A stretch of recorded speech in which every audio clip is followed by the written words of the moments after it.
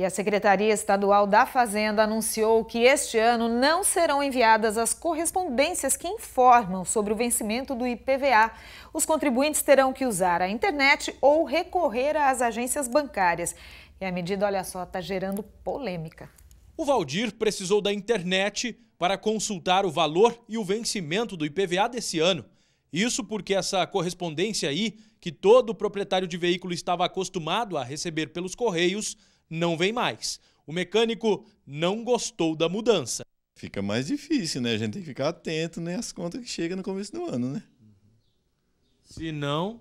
Se não, vai ficar atrasado nas contas. A novidade foi anunciada pela Secretaria Estadual da Fazenda. O contribuinte não vai mais receber a cartinha de aviso do imposto. A medida dividiu opiniões. A carta vem para lembrar, né? E agora tá mais difícil. Eu acho que do, do outro jeito era mais fácil. Dificulta um pouco, né? É. Acho que as pessoas que não têm acesso à internet é, dificulta. Pessoa mais idosa, às vezes a correria a gente não vê. Para quem tem acesso à internet, a consulta pode ser feita pelo site valoripva2018.fazenda.sp.gov.br.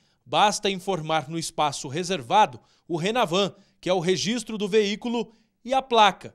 Nos caixas eletrônicos das agências bancárias também é possível conferir o imposto. O IPVA é cotado pelo valor venal do veículo. Este ano está menor, cerca de 3%, e pode ser pago à vista com desconto ou parcelado. O primeiro vencimento é dia 9 de janeiro.